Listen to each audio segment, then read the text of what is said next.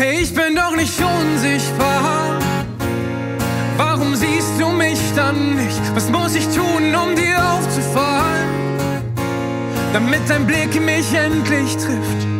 Sag mir, wie laut muss ich noch schreien? Einmal ins Weltall und zurück. Hey, ich bin doch nicht unsichtbar.